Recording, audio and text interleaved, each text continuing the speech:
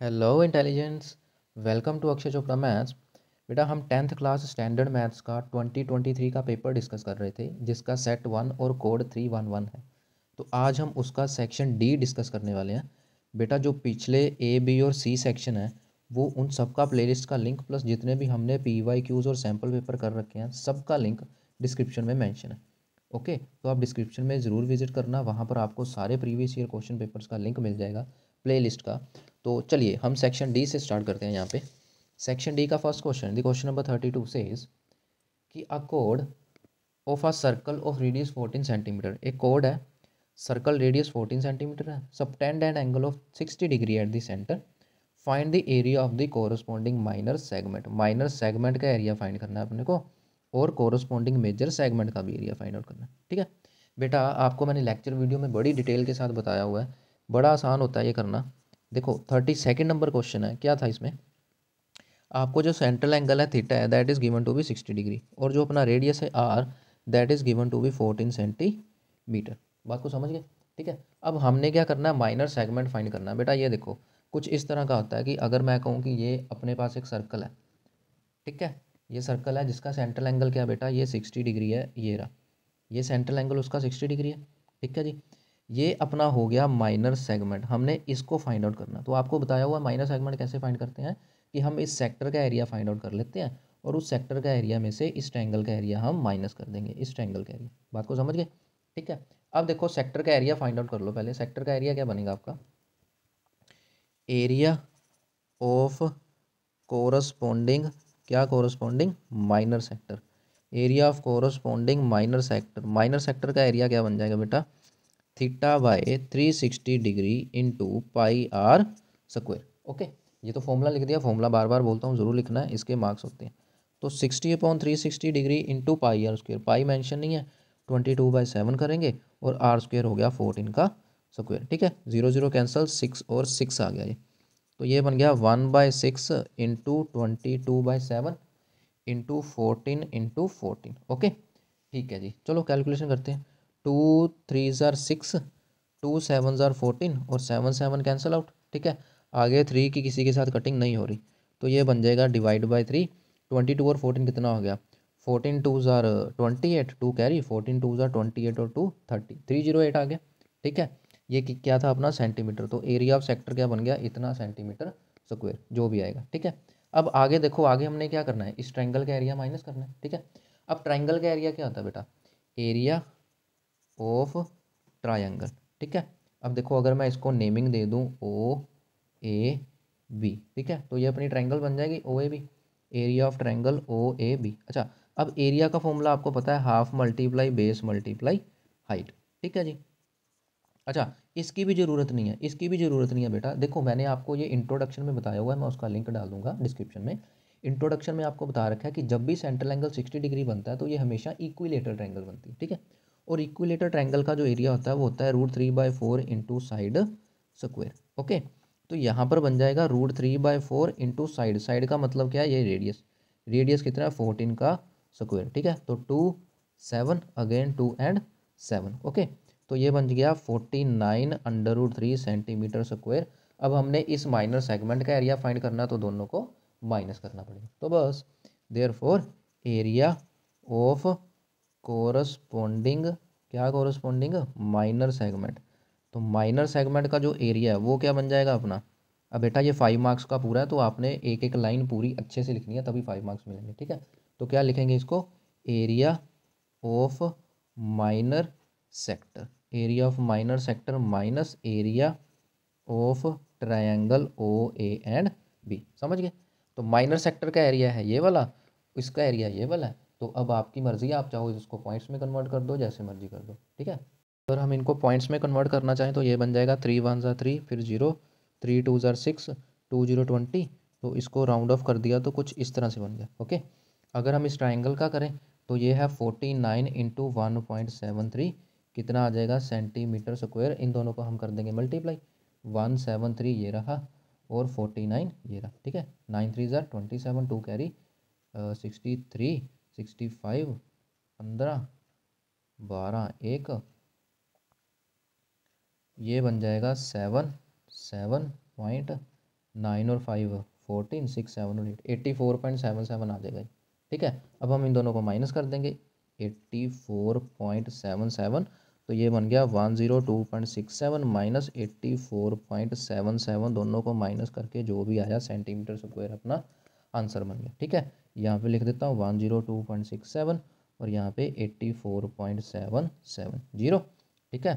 नौ, ग्यारह, चार, सात, नौ, आठ, एक। ठीक है? सेवनटीन पॉइंट नाइन ज़ीरो आ जाएगा आपका आंसर। क्या आ जाएगा? Seventeen point nine zero centimetre square. ठीक है? अब देखो, आगे कुछ और भी फाइंड करना है अपने को। क्या फाइंड करना है? वो कह रहा है मेजर सेगमेंट भी बताओ। तो मेजर सेगमेंट क्या है? सर्कल का एरिया में से इस माइनर सेगमेंट का एरिया माइनस कर देंगे तो मेजर सेगमेंट आ जाएगा। ठीक है? तो सर्कल का एरिया क्या आ जाएगा? पहले तो सर्कल का एरिया फाइंड आउट करना पड़ेगा। नाउ नाउ हम क्या करेंगे अब? Area of complete circle circle का एरिया क्या होता है बेटा? पाई आर स्क्वायर ठीक है? तो pi again twenty two by seven radius कितना आ गया? फोर्टीन का स्क्वायर ओके तो ये बन जाएगा टू फोर्टीन टू ये क्या बन गया?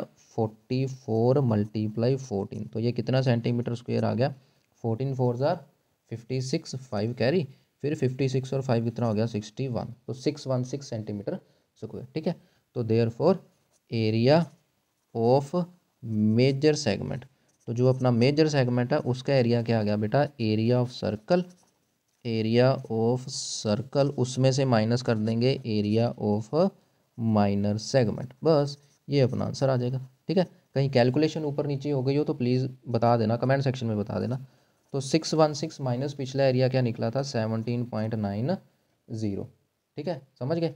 तो इन दोनों को माइनस करा। तो जो भी अपना है, ये सेंटीमीटर स्क्वेयर आ गया आंसर ठीक है?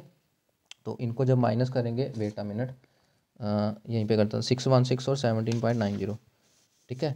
सिक्स वन सिक्स और सेवनटीन पॉइंट नाइन ज़ीरो इनको कर देना है माइनस तो ये आ गया ज़ीरो ज़ीरो ये आ गया वन ये बन जाएगा फाइव एट ये बन जाएगा सिक्सटी और वन फिफ्टीन नाइन तो five ninety eight point one zero तो ये बन गया five nine eight point one zero centimetre square एक बार आप इसको खुद भी ट्राई करना, अगर कहीं पे आपको प्रॉब्लम लगे, कोई कैलकुलेशन मिस्टेक है तो please do let me know in the comment section okay चलिए, आगे बढ़ते हैं नेक्स्ट क्वेश्चन की तरफ़. नेक्स्ट क्वेश्चन भी बड़ा अच्छा बड़ा इजी क्वेश्चन है. That is from A P the ratio of the eleventh term to the seventeen term of A P A P की इलेवंथ और सेवनटीन टर्म की जो रेशियो है रेशियो इज़ गिवन रेशियो क्या गिवन है बेटा? Three ratio four यानी कि जो गिवन है, पहले वो लिख लो। ए इलेवन और A seventeen three ratio four ठीक है? थर्टी थ्री हाँ थर्टी थ्री है। A eleven ratio A seventeen is given to be three upon four है ना? तो ए इलेवन का मतलब है A plus ten D A seventeen का मतलब है ए प्लस सिक्सटीन डी ठीक है? बेटा आपने ऊपर इंग्लिश में लिखना है let A be the first term and D be the common difference तो ये आपने बता देना वहाँ पे, ठीक है? तो इसको क्रॉस मल्टीप्लाई कर दो, ये बन जाएगा four a plus forty d equals to three a plus forty eight d समझे? तो four a minus three a बन गया ए और फोर्टी एट माइनस फोर्टी क्या बन गया? एट डी तो बेटा ए की वैल्यू तो इन टर्म्स ऑफ़ डी आ गई ए की वैल्यू तो इन टर्म्स ऑफ़ डी आ गई। अब आगे देखो क्या पूछा उसने। फाइंड क्या फाइंड करना है? Ratio of fifth term to twenty first term fifth और ट्वेंटी फ़र्स्ट टर्म की रेशो बतानी है अपने को। क्या बताना है? फिफ्थ और ट्वेंटी फ़र्स्ट टर्म की रेशो बतानी है। ये देखो बेटा मिनट हाँ फिफ्थ टर्म और ट्वेंटी फ़र्स्ट टर्म की रेशो बतानी है। समझ गए? तो फिफ्थ टर्म का मतलब हो गया ए प्लस फोर डी और ट्वेंटी वन का मतलब हो गया ए प्लस ट्वेंटी डी समझे? अच्छा ए प्लस फोर डी अब अच्छा ए की वैल्यू क्या आई थी बेटा? ये देखो ए की वैल्यू एट डी आई थी ना। तो ए की जगह तुम एट डी पुट कर दो। ठीक है? ए की जगह हम क्या करेंगे? एट डी पुट कर देंगे। Eight d plus twenty d समझ गए? ये क्या बन गया बेटा? एट और फोर ट्वेल्व और ये क्या बन गया? ट्वेंटी एट तो डी डी कैंसिल रेशो आ गई ना अपने पास। ठीक है? तो इसको क्या करो? फोर के टेबल पे कट कर दो। फोर थ्री ज़ार ट्वेल्व और फोर सेवन ज़ार ट्वेंटी एट कितना आ गया? थ्री रेशो सेवन तो a five ratio a twenty one कितना आ गया बेटा? थ्री रेशो सेवन समझ गए? चलो। अब आगे देखते हैं कुछ और पूछा तो। हाँ जी आगे भी है। Also find the ratio of sum of first five terms to first twenty one terms पहली पाँच और पहली इक्कीस टर्म का सम है उनकी भी रेशो फाइंड आउट करनी है। ठीक है तो इसको आगे कंटिन्यू करते हैं। पहली पाँच और पहली इक्कीस टर्म यानी एस फाइव और एस ट्वेंटी वन फाइंड करना। फॉर्मूला लगा दो। Five by two two multiply a a कितना था? uh, ये देखो ए कितना था? एट डी था ना। ठीक है तो टू ए प्लस एन यानी कि five minus one into d अपने को पता नहीं। डिवाइड बाय, ये क्या आ गया? N by two two a plus n minus one into d. समझ गए? ठीक है? तो ये क्या आ जाएगा बेटा? ये टू और टू तो कैंसिल कर दो। ये बन गया फाइव बाई ट्वेंटी वन बाहर। ये बन जाएगा sixteen d plus five minus one four d. ठीक है जी? Divide by two, eight tsar sixteen d plus twenty d. समझ गए? ठीक है? बिल्कुल इजी बिल्कुल आसान। तो five by twenty one into sixteen और फोर हो गया ट्वेंटी सिक्सटीन प्लस ट्वेंटी कितना हो गया? थर्टी सिक्स ठीक है? तो अगेन डी डी कैंसिल हो जाएगा। ठीक है जी? इसकी कटिंग कटिंग तो मुझे लगता नहीं कहीं हो रही है। कटिंग तो कहीं हो ही नहीं रही। ठीक है? तो ये आ गया हंड्रेड अपॉन ये कितना बन गया? ये बन गया इक्कीस या तिरठ सिक्सटी थ्री और sixty three one twenty six twelve carry sixty three, sixty four, sixty five और सेवेंटी फाइव। तो ये बन जाएगा आपका आंसर। बेटा, ये तो कटिंग हो रही है। अच्छा हाँ सॉरी सॉरी सॉरी। यहाँ पे कटिंग तो हो रही है। ठीक है, ये बन जाएगा एटीन, ये बन जाएगा टेन। ठीक है, ये बन जाएगा नाइन और ये बन जाएगा फाइव। कटिंग हमने करी नहीं। तो ये बन गया five five, twenty five by nine, eighteen, one eighty nine. ठीक है तो ये क्या बन गया? S five. इसको क्या लिखेंगे हम? ऐसे ही। चलो, यहाँ पे लिख देता हूँ। इसको लिखेंगे फिर S five ratio S twenty one equals to twenty five ratio one eighty. Nine ठीक है? इसको ऐसे लिख के आना।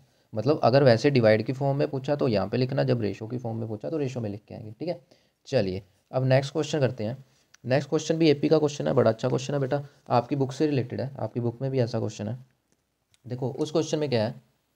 सेज कि 250 logs are stacked in the following manner ठीक है? लॉग्स का मतलब क्या हो गया? जो लकड़ी काटते हैं ना, पेड़ काटते हैं, ठीक है? ट्रकों में भरे होते हैं, वैसे लॉग्स लगाए हुए हैं। किस तरह से कि 22 logs are in the bottom row तो सबसे नीचे वाली में कितने हैं? 22 हैं।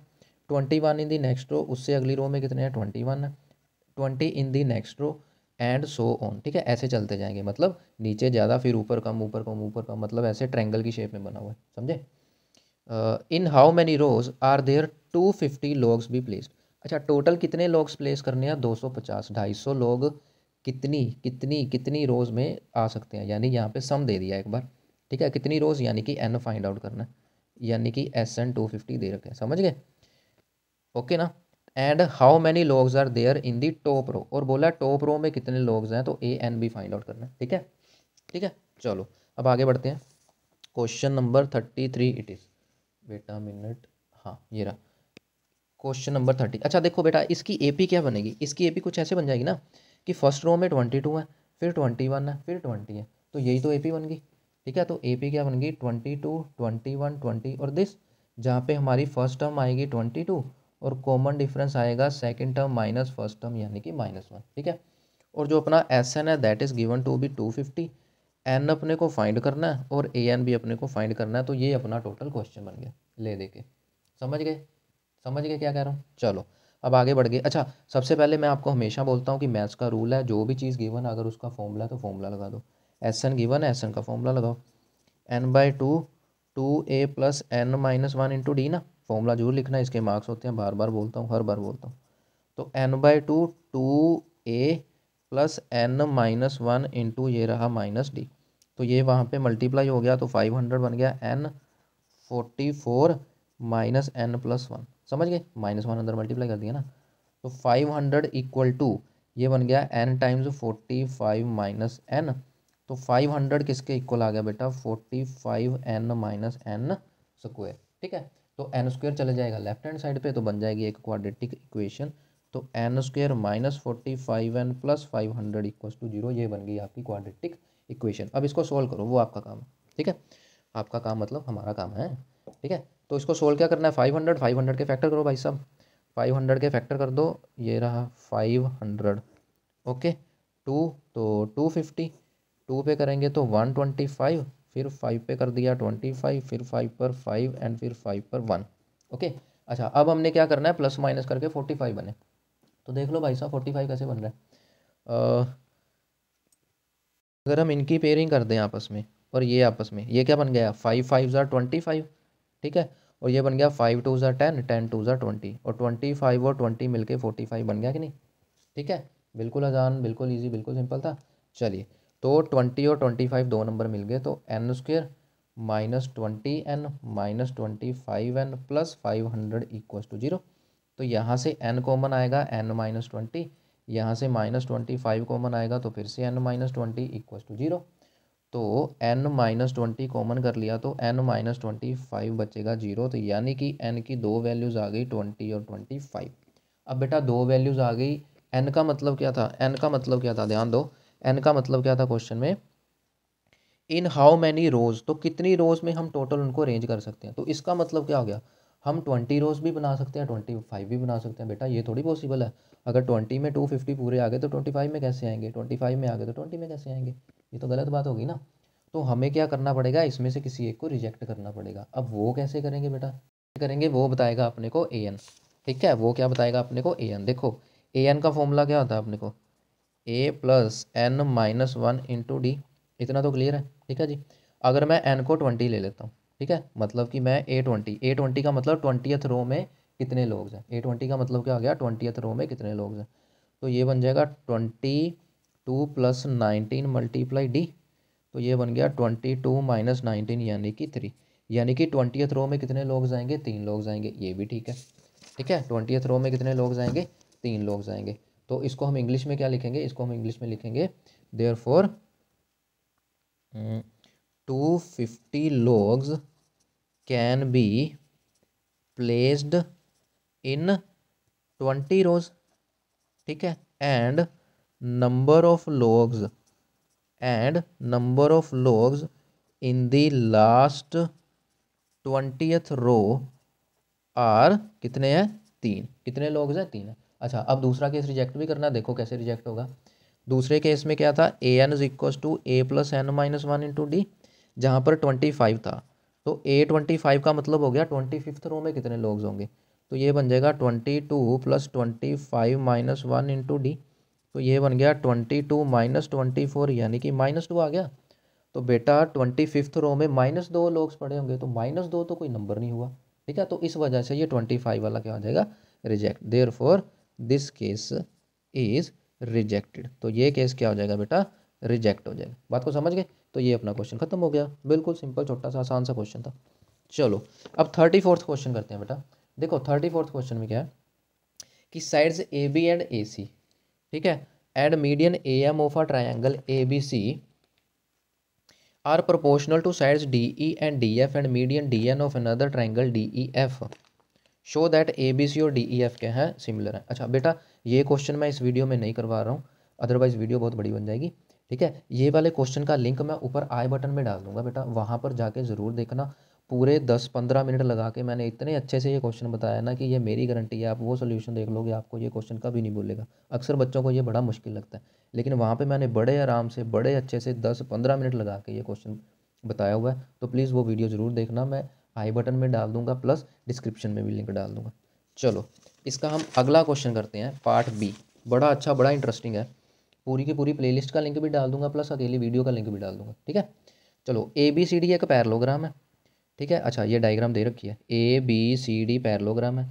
P is a point on the side अच्छा अब नेक्स्ट पार्ट देखो। नेक्स्ट पार्ट में क्या था? डी एल डी पी ये रहा डी एल और ये रहा डी पी ये a l upon d c ये रहा ए एल और ये रहा डी सी अच्छा इसके लिए बेटा ये वाली ट्रायंगल ले लेना। ए डी एल ध्यान देना ए एल डी बड़ी अच्छा आपका आंसर आ जाएगा, ये देखना ध्यान से। ए एल डी यहाँ से स्टार्ट कर लो ए एल एंड डी समझे? अब देखो ध्यान से कौन किसके पैलर है। जो बी पी है, वो ए डी के पैलर है बी पॉइंट ए एल पे है। ए एल पे क्या है? बी पॉइंट है, दूसरी तरफ़ क्या है? पी पॉइंट है। ये ए डी के पैलर है। बात को समझ गए? अच्छा अब देखना इससे अपना आंसर कैसे आएगा? बड़ा अच्छा आंसर आएगा बेटा। अब क्योंकि ये दोनों पैलर है तो हम यहाँ पे बी पी टी लगा सकते हैं। ठीक है? In triangle a l d a l d में क्या बेटा? जो बी पी है, वो पैरलर है ए डी के। बी पी है, वो पैरलर है ए डी के। Therefore by basic proportionality theorem जो कि मैं हर बार बोलता हूँ पेपर में पूरे स्पेलिंग लिख के आने अच्छा अब ध्यान देना बेटा, यहाँ पे क्या हमको चाहिए था? D l upon d p ठीक है? ये देखो, ये डी एल पूरा है और डी पी छोटा है, ठीक है? ए एल और डी सी ठीक है? ए एल और ए एल और डी सी चाहिए। तो बेटा, आपको आपको मैंने ये लेक्चर वीडियो में बताया हुआ है कि ये d p upon d l d p upon d l जो डायरेक्शन यहाँ पे फॉलो कर रहे हैं वही दूसरी तरफ़, यहाँ पे क्या था? छोटा अपोन पूरा तो यहाँ पे भी क्या आएगा? छोटा यानी ए बी अपोन पूरा ए एल तो a b upon a l इतना तो क्लियर है, ठीक है जी? अब देखो ध्यान से हमने प्रूफ क्या करना है? D p upon d l ये रहा d p upon d l फिर a b upon a l ये रहा a l upon d c यहाँ पर डी सी आ गया। बेटा देखो, इसको रेसिप्रोकल कर दो ना। अगर मैं डी एल को ऊपर लिख दूँ डी पी को नीचे लिख दूँ तो यहाँ पर भी ए एल ऊपर हो जाएगा और ए बी नीचे हो जाएगा। तो d l d p a l a b d l d p a l d c यहाँ पर प्रॉब्लम आ गई। ये अपना डी सी है, ये अपना ए बी है, इनको सेम प्रूव करना पड़ेगा, तभी आंसर आएगा। और प्रूव करने की बेटा ज़रूरत ही नहीं है। ये देखो तुमको क्वेश्चन में क्या गिवन है? A B C D is a parallelogram ये इसी दिन के लिए दिया था। तो A B C D parallelogram है तो हमें पता है पैरलोग्राम की अपोजिट साइड सेम होती हैं तो ए बी और सी डी आपस में सेम हो गई तो इस ए बी की जगह मैं ये सी डी फिल कर सकता हूँ। आंसर हो गया प्रूव ठीक है? चलो, इतनी सी बात थी। तो since since A B C D is a parallelogram therefore A B equals to C D why because opposite sides of parallelogram are equal parallelogram की अपोजिट साइड्स इक्वल होती हैं। देयर फोर ये क्या बन गया बेटा? D L upon D P किसके equal आ गया? A L upon C D के। तो यही अपने को प्रूव करना था, ठीक है? ये सेकंड पार्ट आ गया। अच्छा और फ़र्स्ट पार्ट तो अपना रह गया बातों बातों में, ठीक है? ये था क्वेश्चन नंबर थर्टी फोर इसका फ़र्स्ट पार्ट क्या था बेटा? फ़र्स्ट पार्ट में डी पी और डी एल ठीक है? फ़र्स्ट पार्ट में क्या बेटा? डी पी और डी एल आपको देखना है कि ये किस किस ट्रैंगल में आ रहा है। डी पी और पी एल ये रहा डी पी ये रहा पी एल डी सी और बी एल ये रहा डी सी और ये रहा बी एल तो यानी कि हम अगर ये वाली दो ट्रैंगल्स लेके इनको सिमिलर कर दें तो कोरस्पॉन्डिंग साइड्स इक्वल करके कुछ ना कुछ आ सकता है ठीक है? तो मैं दो ट्रैंगल ले रहा हूँ बेटा। ध्यान से देखना कैसे ले रहा हूँ दोनों ट्रैंगल्स हाँ देखो आ, हाँ यहाँ पे आ गया। तो मैं दो ट्रैंगल्स ले रहा हूँ। फ़र्स्ट पार्ट के लिए एक ट्रैंगल रही ये वाली। ठीक है? अब इनकी नेमिंग क्या करनी है? नेमिंग उससे अकॉर्डिंग करनी है कि सारा कुछ आमो सामने आए। देखो ध्यान से। ये क्या बन जाएगा? पी बी सी और यहाँ पे बन जाएगा पी एल एंड बी अब मैंने ये वाली नेमिंग वाली ट्रैंगल क्यों ली? बेटा देखो ध्यान से। हमें क्या प्रूव करना है? D P upon P L ठीक है? सेम डायरेक्शन की ऊपर नीचे आती हैं। ये रही डी पी कहाँ गया? सॉरी गलत हो गया। ये वाला पॉइंट डी है। ये रहा डी पी और ये रहा पी एल यही प्रूव करना था? D P upon P L ये रहा डी पी ये रहा पी एल फिर क्या? डी सी और बी एल ठीक है? ये रहा डी सी और ये रहा बी एल समझ गए? तो अब हमारा काम क्या रह गया इनको? सिमिलर प्रूव करना. तो हम क्या करेंगे? In triangle P D C and triangle P L B अब देखो, इन दोनों में क्या होगा बेटा? सबसे पहले तो ये पी वाला वर्टिकली ऑपोजिट ना बन गया। ठीक है? पी वाला वर्टिकली ऑपोजिट बन गया।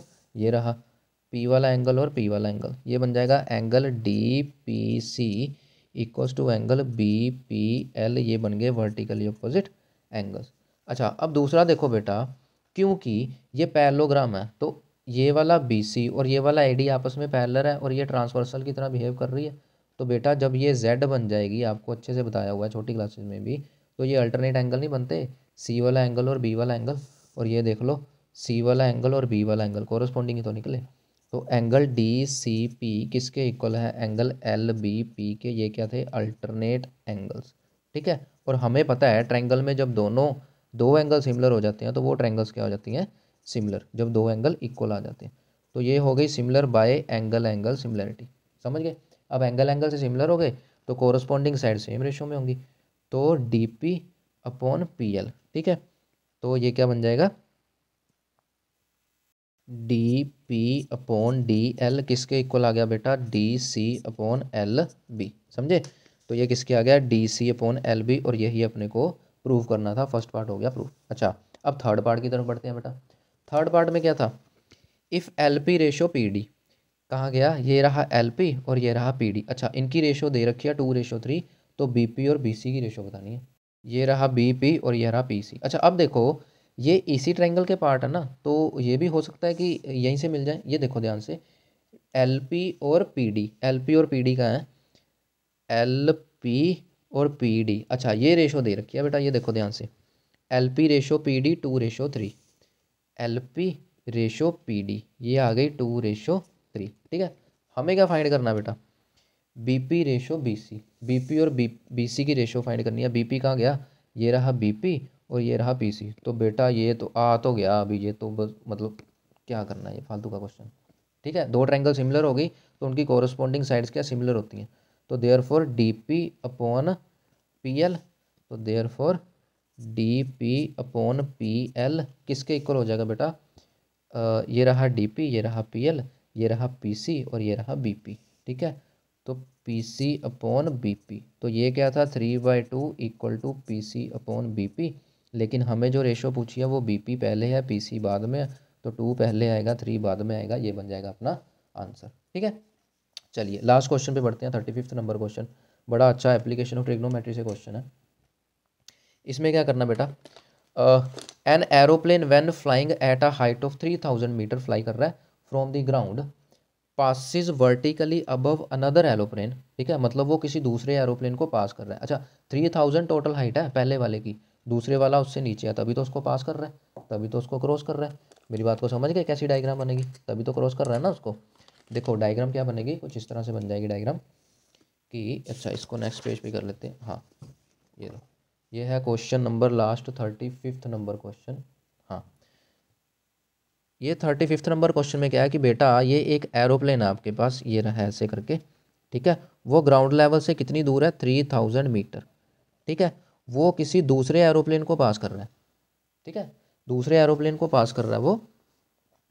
Instant when the angles of elevation of two planes from the same point on the ground are sixty and forty five अच्छा एक प्लेन ये रहा, दूसरा प्लेन ये रहा ग्राउंड के किसी सेम पॉइंट से उनका एलिवेशन क्या फोर्टी फाइव और सिक्सटी ठीक है? तो सबसे पहले तो इसको ज्वाइन कर लो। एक लाइन ये रही और एक लाइन ये रही। अब अच्छा ये वाला एंगल ऑब्वियसली कितना बन जाएगा बेटा? फोर्टी फाइव डिग्री और ये वाला कितना बन जाएगा बेटा? सिक्सटी डिग्री मेरी बात को समझे? अब आप बोलोगे, सर, आपने छोटे वाला फोर्टी फाइव क्यों बनाया? बड़े वाला सिक्सटी क्यों बनाया? बेटा, अगर आप प्रोटेक्टर में भी देखो, ये देखो, ठीक है? थोड़ा सा पता नहीं आपको सही लगेगा कि नहीं? ये देखो, ये फोर्टी वाला एंगल है, ये फोर्टी फाइव वाला एंगल है ना? तो फोर्टी फाइव वाला छोटा एंगल है, लेकिन ये सिक्सटी वाला बड़ा एंगल है। फोर्टी फाइव वाला सिर्फ़ इतना एंगल है, लेकिन सिक्सटी वाला इतना बड़ा एंगल है। मेरी बात को समझ गए? तो इसी वजह से मैं फोर्टी फाइव वाला एंगल छोटा सिक्सटी वाला बड़ा ले रहा हूँ। ठीक है? तो अब आप इनकी नेमिंग कर दो A B C and D अच्छा अपने को फाइंड आउट क्या करना बेटा? Find the vertical distance between the planes at instant also find the distance of first plane from the point of observation तो फाइंड आउट क्या करना है? फाइंड द वर्टिकल डिस्टेंस मतलब इन दोनों प्लेन्स में ये जो बी से लेके सी तक डिस्टेंस इसको फाइंड करना बेटा, ये थ्री थाउज़ेंड पूरा है। ठीक है? तो ये मान लो इतना जो डिस्टेंस फाइंड करना है, वो क्या है? एक्स तो यहाँ से लेके यहाँ तक क्या बच गया बेटा? थ्री थाउज़ेंड माइनस एक्स बच गया। इतना तो क्लियर है। ठीक है जी? अच्छा अब हमें क्या फाइंड करना है? इन दोनों एरोप्लेन के बीच का डिस्टेंस और distance of the first aeroplane from the point यानी कि ये सी डी भी फाइंड करना है। ठीक है? Distance of the first aeroplane from observation यानी ये सी डी भी फाइंड करना है। ओके? चलो। अच्छा उसने फ़र्स्ट एरोप्लेन बोला सेकेंड एरोप्लेन नहीं बोला। अगर सेकेंड एरोप्लेन बोले तो बी डी भी निकालना पड़ेगा। मेरी बात को समझ गए तो बी डी भी निकालना पड़ेगा। तो बस, अब हो जाओ शुरू। इन ट्रायंगल कौन सी ट्रायंगल लें पहले बेटा? ये भाई ले लें। A B D in triangle A B D यहाँ पे देखो परपेंडिकुलर क्या है? ए बी और अपना बेस क्या है? ए डी और छोटी वाली ट्रायंगल का एंगल कितना था? फोर्टी फाइव डिग्री ठीक है? ए बी की value three thousand minus X A D we don't know tangent forty five we know it is one तो यहाँ से जो अपना ए डी है that will come out to be three thousand minus X metres ठीक है? ये तो ए डी आ गया, यानी कि बेस आ गया। अच्छा अब बड़ी ट्राइंगल ले लो कौन सी बेटा? ए डी सी ठीक है? तो इन बड़ी ट्राइंगल ए डी सी बड़ी ट्राइंगल में भी वही बात है। पूरा A C perpendicular upon A D base ठीक है? A C perpendicular upon A D base वो क्या बन जाएगा? टेंजेंट और दूसरी ट्रायंगल में है टेंजेंट सिक्सटी डिग्री अच्छा ए सी अब देखो बेटा ध्यान से। ए सी क्या है? ए सी तो ए से लेके सी तक, ये तो पूरा डिस्टेंस थ्री थाउज़ेंड गिवन था। इसमें तो कोई प्रॉब्लम नहीं है। तो ये बन जाएगा three thousand upon A D A D की वैल्यू क्या है? थ्री थाउज़ेंड माइनस एक्स अभी हमने देखा। तो थ्री थाउज़ेंड माइनस एक्स किसके इक्वल हो गया? Tangent sixty is under root three ठीक है? तो थ्री थाउज़ेंड माइनस एक्स को कर दो मल्टीप्लाई तो it will be three three thousand under root three minus X under root three समझ गए? ठीक है? अब यहाँ से एक्स को फाइंड करना है। एक्स को फाइंड करेंगे तो ये दोनों एरोप्लेन का डिस्टेंस फाइंड आउट हो गया ना? चलो तो ये थ्री थाउज़ेंड इधर आ जाओ, इसको उधर ले जाओ। तो ये बन जाएगा वेटा मिनट हाँ तो ये बन जाएगा कुछ X under root three equals to three thousand root three minus three thousand समझ गए? ठीक है? तो ये बन जाएगा X equals to three thousand कर दिया common root three minus one by under root three ठीक है? कुछ इस तरह का बन जाएगा ये। ये रहा। अच्छा अब देखो, इसको ज़रा रैशनलाइज कर दो। Three thousand root three minus one into root three upon root three into root three ठीक है? रूट थ्री से मल्टीप्लाई डिवाइड कर दिए तो ये बन जाएगा three thousand three minus root three upon three okay इसकी कटिंग कर दो। थाउज़ेंड आ गया आपके पास तो एक्स की वैल्यू क्या आ गई? Thousand times three minus under root three अच्छा अब देखो क्वेश्चन में क्या बोला हुआ है? क्वेश्चन में बोला हुआ है कि रूट थ्री को one point seven three use करना है। तो यहाँ पे मैं पुट कर दूँगा वन पॉइंट सेवन थ्री अच्छा अब इससे क्या फ़ायदा होगा बेटा? इससे क्या फ़ायदा होगा? आंसर आएगा बस। तो ये बन गया one point seven three minus करेंगे। बेटा मिनट देखो। ये आपका थ्री आ गया। ये आ गया वन पॉइंट सेवन थ्री इनको कर दो माइनस ये बन गया सेवन ये बन गया नाइन माइनस सेवन टू और ये बन गया टू माइनस वन वन कितना आ गया? वन पॉइंट टू सेवन आ गया। ठीक है? One point two seven. अच्छा अब इसका पॉइंट निकाल लेंगे तो ज़ीरो आ जाएगा। ज़ीरो से ज़ीरो कैंसिल कर दिया तो एक्स की वैल्यू आ गई one two seven zero metres तो देयर फोर डिस्टेंस क्या था? डिस्टेंस बिटवीन टू एरोप्लेन्स ठीक है? दो एरोप्लेन्स का जो डिस्टेंस है, वो कितना आ गया बेटा? One two seven zero metres ठीक है जी? अच्छा अब दूसरा क्या फाइंड करना था? ये पॉइंट ऑफ़ ऑब्जर्वेशन से पहले की डिस्टेंस तो सी डी फाइंड करना हाइपोटेन्यूज तो आपके पास ये पूरा परपेंडिकुलर भी है थ्री थाउज़ेंड ठीक है? तो आप परपेंडिकुलर अपॉन हाइपोटेन्यूज क्या हो जाएगा? मेरी बात को समझ गए? ये लो। तो मैं फिर से आ जाता हूँ बड़ी ट्रैंगल पे, क्या लिखूँगा? इन ट्रायंगल ए डी सी बड़ी ट्रैंगल में आ जाऊँगा फिर से। अच्छा ए सी क्या है? Perpendicular upon hypotenuse C D find करना है। तो वो क्या होता है? साइन और बड़ी ट्रायंगल में जो एंगल है दैट इज़ सिक्सटी डिग्री समझ गए? तो बस ए सी की वैल्यू क्या आ गई? Three thousand D we have to find out sine sixty is under root three by two तो सी डी की वैल्यू क्या आ जाएगी? Three thousand multiply two upon under root three तो अब क्या कर दो? फिर से रैशनलाइज कर दो। तो three thousand into two upon under root three तो अंडर रूट थ्री से मैं मल्टीप्लाई और डिवाइड कर दूँगा। रैशनलाइज बेटा बेसिकली मैं इसलिए कर रहा हूँ क्योंकि मुझे ये थ्री थाउज़ेंड दिख रहा है ताकि मैं यहाँ पर थ्री पुट करूँ और इसकी कर दूँ कटिंग ठीक है? तो सी डी की वैल्यू क्या आ गई? Thousand multiply two multiply root three भाई two root three two multiply root three हो गया ना। अब अगेन फिर से वही बात आ गई। इसने बोला है कि one point seven three put करके कैलकुलेशन करो। रूट थ्री पे छोड़ के नहीं आना। तो यहाँ से, यहाँ पे कर देता हूँ मैं।